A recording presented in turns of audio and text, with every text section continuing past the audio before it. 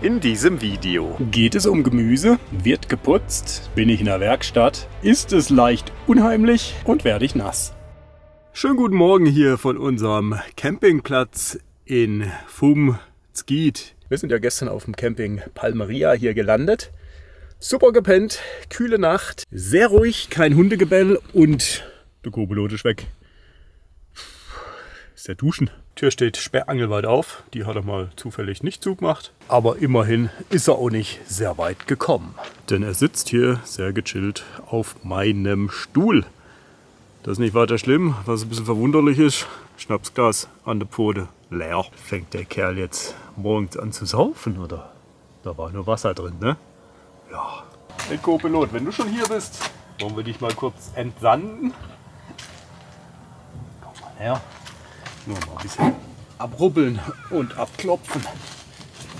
Ist sicher staubig geworden die letzten Wochen. Ja, das muss halt auch mal sein. Wenn er schon mal vor der Tür ist, drin will ich das nicht machen, da habe ich den ganzen Staub drin.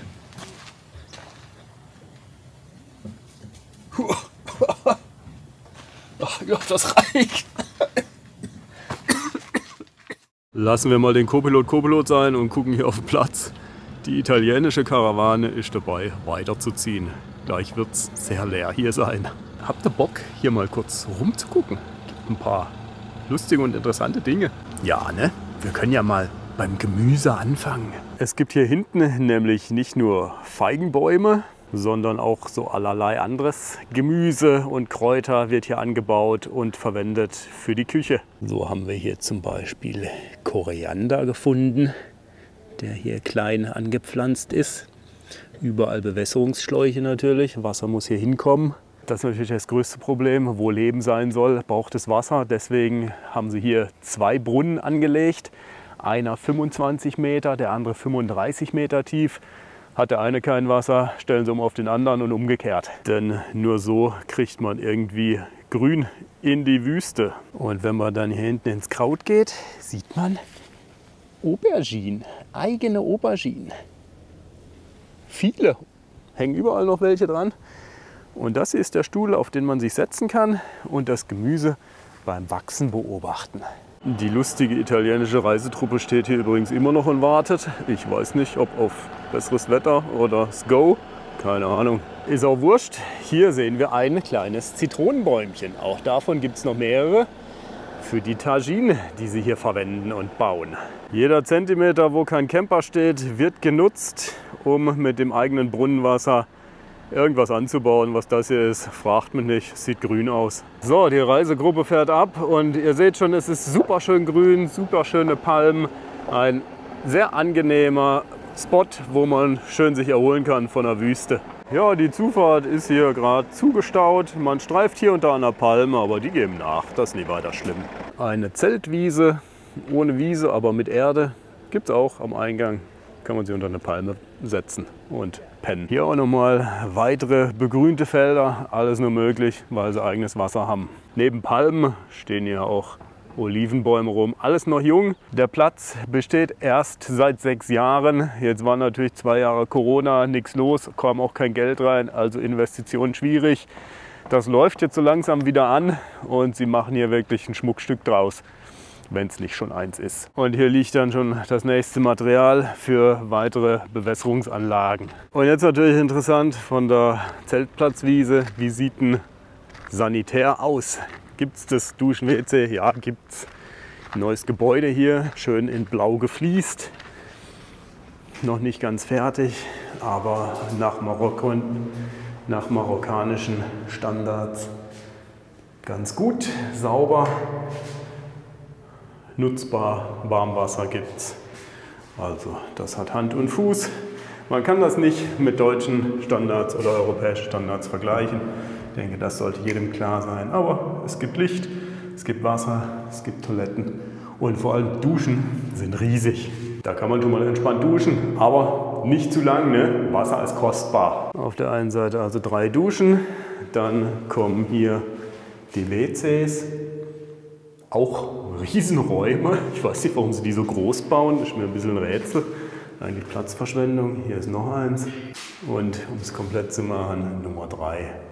Das ist das eine Sanitärgebäude, es gibt aber noch ein zweites. Es gibt ja immer noch Menschen, die gerne abwaschen. Geht es hier? Ja, geht. Es kommt Wasser, der Druck ist okay. Wenn ihr wollt, könnt ihr hier abwaschen, bis kein Wasser mehr kommt. Aber seid bitte lieber sparsam. Denn das Wasser aus dem Boden ist besser aufgehoben bei den Pflanzen, die sie hier anbauen. Denn diese Pflanzen, Kräuter und Gemüse, die landen später abends in eurer Tagine und machen sie lecker. Das Gelände an sich super weitläufig und groß. Also wer einen Spaziergang machen will, kann das innerhalb der Mauern oder außerhalb, wie er will.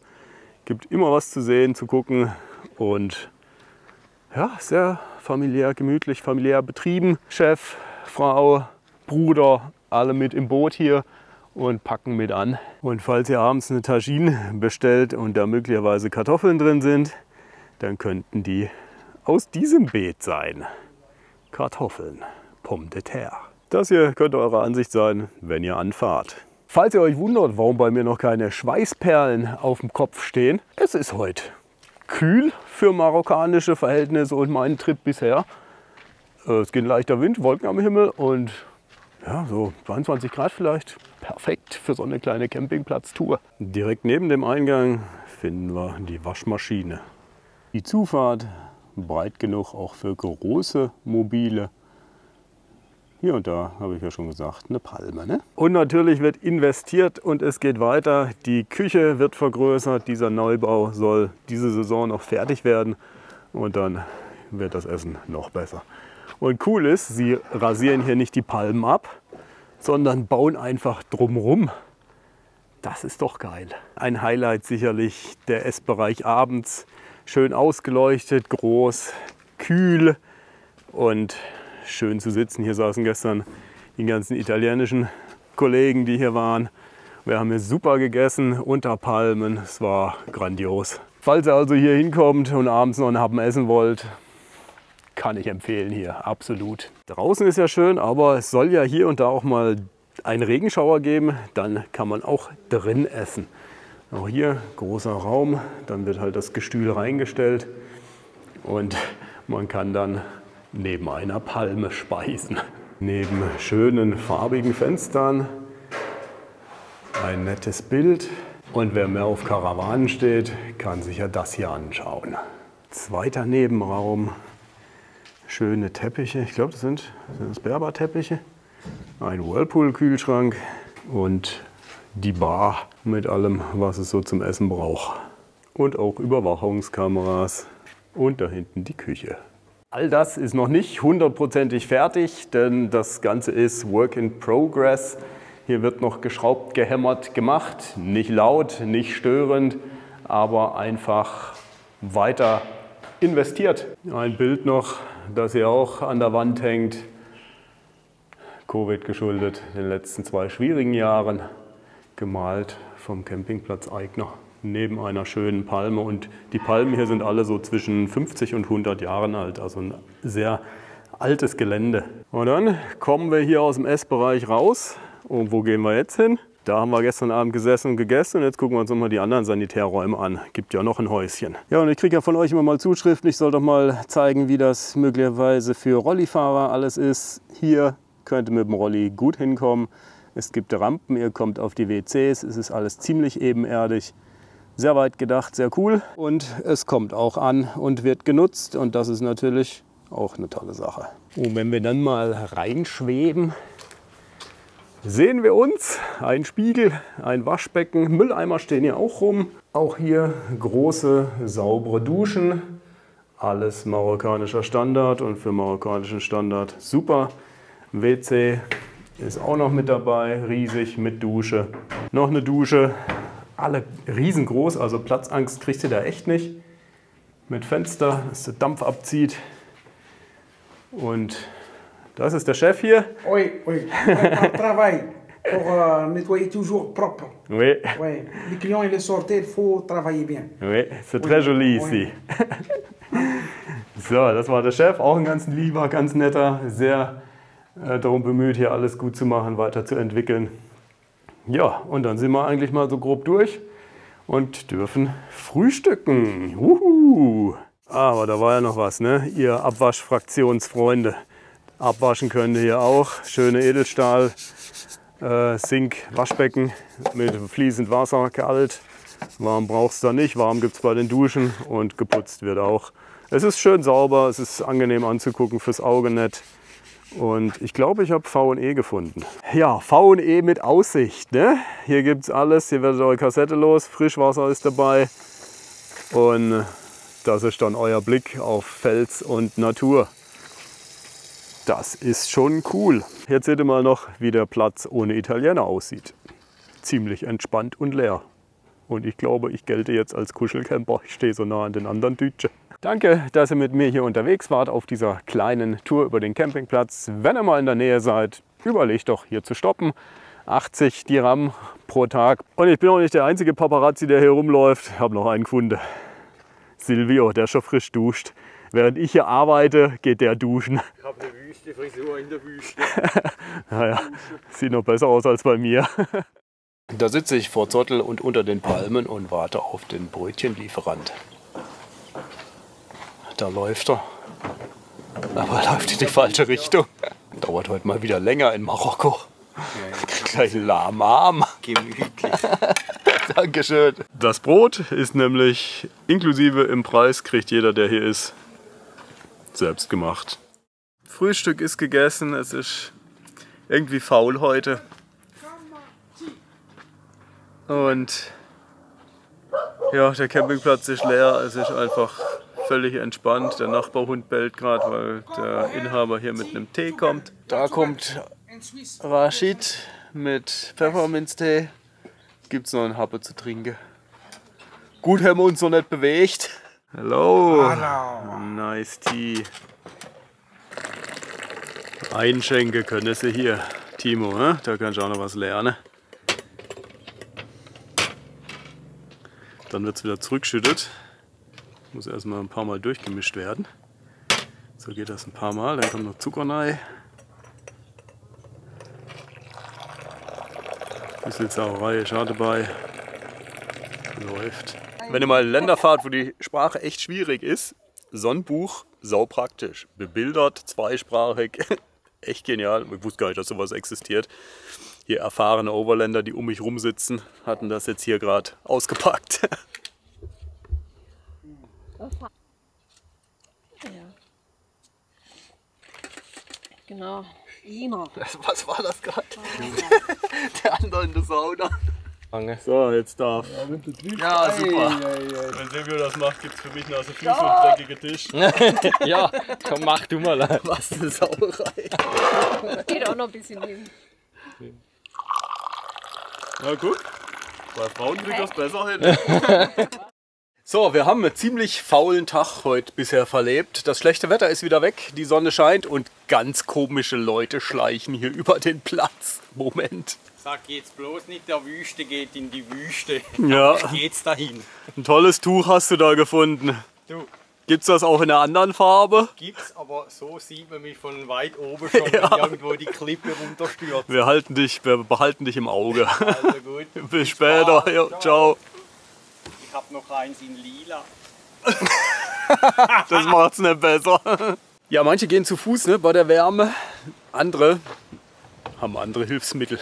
Den ganzen Tag faul rumsitzen, das geht nicht. Deswegen Geheimwaffe vor die Tür. Wir cruisen noch eine Runde. Und zwar in diese Richtung, da hinten durch die Palmen seht ihr es vielleicht. Da steht noch so eine alte Lehmstadt. Da können wir mal gucken, ob wir da hinkommen. Ja, nur mal so, falls ihr euch fragt, ob wir heute noch wegfahren. Nö, es ist schön hier. Wir bleiben noch eine Nacht. musste noch mal umdrehen. Ich habe nämlich ein Loch hinten drin. Ich musste wieder aufpumpen. Hoffen wir, dass es hält und nicht größer wird. Da sind wir auch gleich schon da. Jetzt ist schon die Frage, wie kommen wir hoch zu diesem Lehmdorf? Weit bin ich nicht gekommen. Ne? Habe hier schon den anderen im Karierten getroffen. Die Jungs sind auch hier, Mechaniker. Wenn ihr mal irgendwas kaputt habt am Van, könnt ihr hier vorbeikommen, uns reparieren lassen. Die haben eine Werkstatt, das sieht dann so aus und die können schrauben. Garage, Eini. Pause ein bisschen länger, weil äh, gibt jetzt noch einen Tee. Ein kleines Beispiel, dass Sie hier schrauben können. Sie fahren mit Gasflasche Ihre alte Honda. Das Ding läuft mit Gas, ich glaub schon nicht. Knaller. So, ist lustig, ne? Jetzt steht der Scooter in der Werkstatt und eine Werkstatt könnt ihr brauchen, weil irgendwie hat er ein Loch im Hinterreifen. Da war wieder die Luft raus vorhin.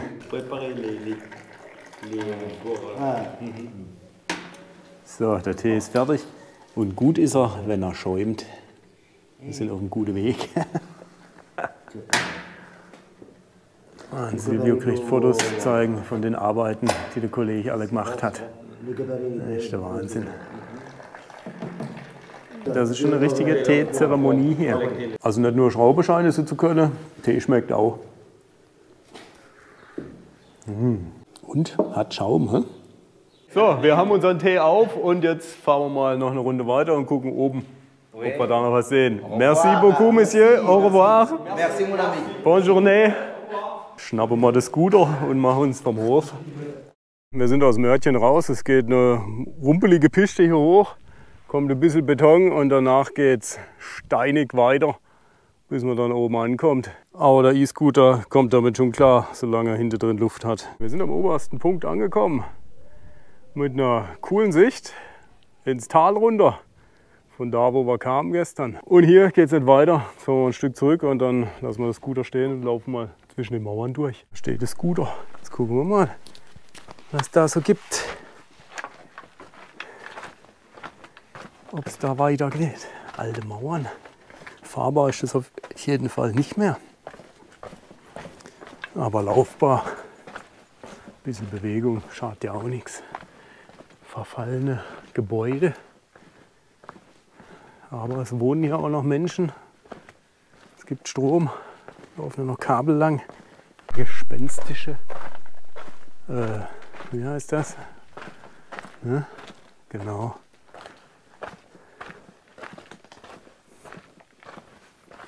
Ist auch nicht mehr viel los. Überall zweigen Gänge ab. Aber hier wohnt wohl noch einer. Das ist eine Tür. Bei Regen wird es ja auch nicht lang müssen. Die Mauern stehen ein bisschen schräg. Krass, das verfällt hier vor sich hin. Da gehen immer mal wieder, wieder Türen ab. Bricht schon die Decke in sich zusammen. Aber nach links sieht es jetzt nicht unbedingt so aus, als würde da bald wieder einer wohnen.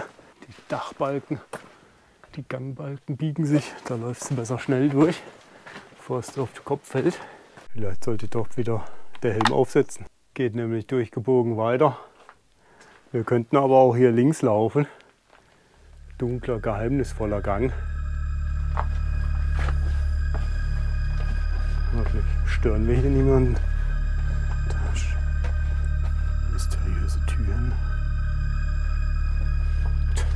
Bisschen. Ah, unheimlich ist das Wort. Kein Mensch bisher. Aber an den Steinen sieht man, so abgewetzt wie die sind, hier sind schon viele Leute entlang gelaufen. Ich hoffe, wir finden hier wieder raus. Es fühlt sich an wie ein Labyrinth. Ein zerfallenes. Es gibt auch ein ganz klein wenig Grün. Da steht noch eine Palme. Wie sind die da hingekommen? Ich glaube schon. Müll liegt auch noch ein bisschen rum, aber das ignorieren wir jetzt mal. Oh, aufpassen, wo ich. Jetzt ist der Knöchel kaputt. Das Ganze ist ein bisschen eng, aber hier liegen auch noch Wasserleitungen frei rum. Das sieht dann ungefähr so aus. Und wenn wir geradeaus weiterlaufen, kommen wir an die Stadtmauer. Da kommt nichts mehr. Den Stromleitungen nach ist hier noch Leben. Sind wir von hier gekommen oder war das? Ja doch, oder? Ja. Naja, an den Müll erinnere ich mich da, die Flasche mit der Zunge. Wir sind hier richtig. Wir sind dann wieder auf der Hauptverkehrsstraße. Ihr seht das auch an dem vielen Verkehr hier. Immer wieder Rechtsabwege, geradeaus, Dunkelheit mit Licht am Ende des Tunnels. Wow, das ist mal eine Wand. Ja? Das haben die alles von Hand gestapelt, mit ein bisschen Lehm wahrscheinlich fixiert. Krass. Dann geht es hier im Kurve und es sieht ein bisschen stabiler aus, sag ich mal. Die Wände nicht eingefallen, aber weiterhin dunkle Gänge und Korridore. Also bald eine Lampe. Steinerne Aufgänge zu blauen Türen. Ist wieder gegen den blauen Blick. Also hier kann man schon seine Zeit vertun und vergessen und sich verlaufen. Weil, ja, aber zum Glück ist es nicht riesig. Also ich glaube, noch keiner verloren gegangen, noch kein Skelett gesehen. Und jetzt sind wir auch wieder da, wo alles vor sich hin verfällt. Wer also Steine braucht, der wird hier fündig. Kurz ums Eck sieht es dann wieder fast bewohnt aus, mit Gittern vor den Fenstern, bevor es dann hier der Hang runter geht, ein weiterer Weg. Und da hinten seht ihr vielleicht noch im Hellen die Moschee, den Turm. Und das ist der Unterschied, wenn man mit Reiseführer, Reisebuch arbeitet, da war das nicht drin. Da findest du es nicht, das ist noch nicht einmal auf Google Maps irgendwie großartig eingezeichnet oder bewertet oder sonst irgendwas. Solche Dinge findest du, wenn du Zeit hast und mal ein bisschen rumguckst. Und jo, zum Glück haben wir ja Zeit, ne? bis Mitte Dezember noch. Und solche kleinen Ode hat man dann auch für sich. Keine anderen Touristen, die hier rumstreuen, im Bild stehen, keine fliegenden Händler, die dir irgendwas verkaufen wollen. Kannst du hier maximal das Bein brechen und es findet dich nie jemand. Shit happens. Wo geht's denn hier lang? Ja, wir haben, glaube ich, den einen anderen Zugang gefunden zu dem Gebäudekomplex hier. Da unten ist die Werkstatt. Da hätte man auch einfach hier hochlaufen können. Ja, manchmal ist man im Nachhinein halt doch schlauer. Bin zurück in die Stadt. Liegt ein blauer Rucksack rum. Schon mal schräg. Sind wir von hier gekommen vorhin oder wo geht's denn lang? Jemand einen Plan? Was ist das für ein blauer Rucksack? Warum hängen hier so komische Gabel rum? Fragen über Fragen und dann tut sich eine Mauer auf. Und wir kriegen noch mal einen geilen Blick. Links auf Mersuga wollte ich jetzt schon sagen. Auf Fungizid, auf Fumzgid und in die Prärie raus. Schönes Licht jetzt, Sonne geht bald unter. Wir sollten hier nicht so lange bleiben, bis es gerade Nacht wird. Oh fuck, ist das eine gute Idee, da lang zu laufen? Oder eher nicht? Es verläuft sich irgendwo in Schutt und Asche. Ja, da kommen wir glaube ich nicht weiter. Da nuff. Könnt gehen.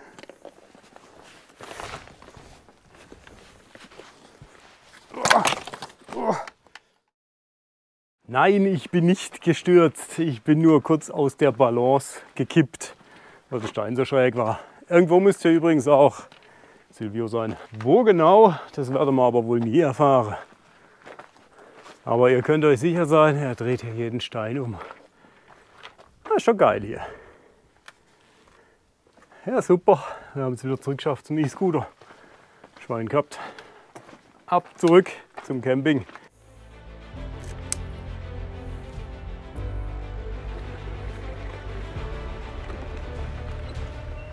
Jo, da bin ich wieder zurück in Zottel. Die Sonne ist untergegangen und bevor es irgendwann jetzt zum Abendessen geht, gibt es erstmal eine Dusche.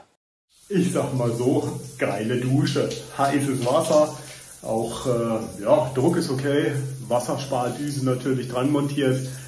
Aber ein Traum, ehrlich geil. Und das Coole ist, hier fließt sogar das Wasser super ab. Kein Abflussstau, nix. War ein Traum die Dusche. Da hinten seht ihr noch die Reste des Sonnenuntergangs. Und falls euch interessiert, was hier eine 11 Kilo Gasbuddel kostet, so plus minus 4 Euro haben wir heute erfahren. Wobei mich das nicht wirklich kratzt, denn wir sind ja gasfrei. So, der verlorene Sohn ist auch wieder zurück vom Markt. Ne, von der Stadt war er. Und jetzt geht's essen. Ich habe schon mal ein paar Oliven gegessen. Ich hoffe, das ist okay für euch. Ich bin echt am Verhungern. Zur Suppe Legume. Und jetzt gibt's Gemüsesuppe. Hast du einen Löffel? Ja, du auch. Bin ich blind? Willst du eine Antwort auf diese Frage? Ich glaube, Marokko. Doch, du hast auch eingekriegt. Marokko lässt mich ja blind. Ah, da unten ist er. Ja, ja, jetzt. Gut versteckt. Oh Mann. Also wir sabbern hier ins Essen. So lecker sieht das aus. Heute gibt es Hühnchen, nicht als Tagine, aber irgendwie anders mit Gemüse und gesund. Da. Ja, lass uns loslegen. So, wir sind jetzt mal beschäftigt. Was ihr hier seht, ist ein glücklicher Silvio. Es gab auch noch Pommes und Brot. Oh Gott, wir werden jetzt sterben nachher vor Völlegefühl. Da brauchst du einen Schnaps nachher oder einen Ich Rum. wollte gerade sagen, das schreit förmlich nach Schnaps. Ja, hau rein, Gurte. Ein guter. So, Co-Pilot, was meinst du? War's das für heute? Komm. Ja, Nase einziehen, wir gehen mal pennen. Hä? Was steht denn ihr da noch rum?